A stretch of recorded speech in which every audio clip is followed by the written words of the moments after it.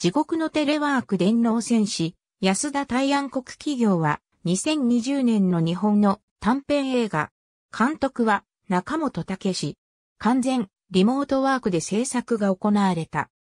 新型コロナウイルス感染拡大の影響で外出自粛が呼びかけられる中、全員が自撮り撮影を行い、すべて在宅作業での制作をもって完成された短編映画作品。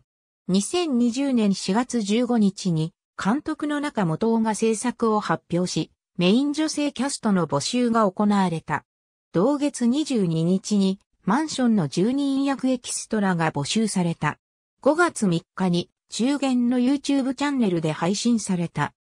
中元が2018年のアメリカ映画、サーチ、サーチを公開当時に鑑賞した際に感動を覚えたことから、本作も同作に習い、キャストがフェイスタイムを使用しているようなほぼ全編、PC 画面風の構成に仕上がっている。また、終盤の展開は、街頭技巧ストリートテクニックの影響を受けているという。本作公開後に松竹が募集を開始したリモート映画祭にも参加。規定の動画時間を超えているものの、映画祭開催前に制作されていたことから、特例での参加が認められた。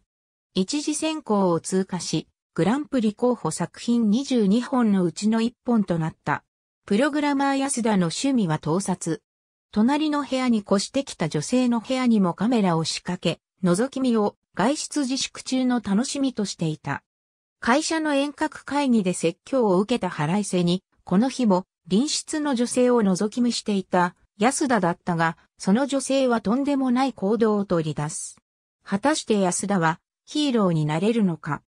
同じく、リモートワークでの映画制作に取り組んだ映画監督の上田慎一郎は、本作のエンタテインメント性と技術力を高く評価し、終盤の展開でテンションが上がったと述べている。映画監督の松本大輝は、本作と上田のカメラを止めるな、リモート大作戦を視聴したことをきっかけに、リモート映画、遥かの扉の制作に取り掛かったという。特例での参加が認められた松竹によるリモート映画祭では、映像戦略室長の片岡祐介による推薦で、松竹社員が選んだ一押し作品の一作に選ばれ、特別プロモーションムービーに本映画も使用されている。片岡は盗撮映像を使って物語を進めるアイデアに脱帽、意外すぎる。展開の連続が映画サーチ。サーチに通じるとの推薦コメントを出している。ありがとうございます。